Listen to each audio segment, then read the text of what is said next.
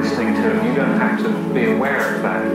But the, the important thing about theoretical positions is that they lead you to decisions that you wouldn't have taken otherwise, or you